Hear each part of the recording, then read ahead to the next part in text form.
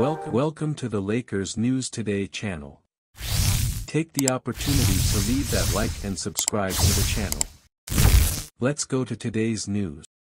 After delivering impressive performances throughout the regular season and playoffs for the Lakers, Austin Reaves has garnered significant interest from teams across the league as he enters restricted free agency with a hot market surrounding him. The Lakers are determined to keep Reaves in their ranks for the long haul, particularly considering the remarkable growth he has shown as a player. However, due to the Gilbert Arenas rule, the team can only offer him a four-year contract worth $51 million, while other teams can potentially present offers of up to four years worth $98.5 million. This discrepancy in contract value presents a substantial difference for Reaves, but rumors indicate that the Lakers are prepared to match any agreement that arises for the talented guard the true ceiling for Reaves's contract remains uncertain.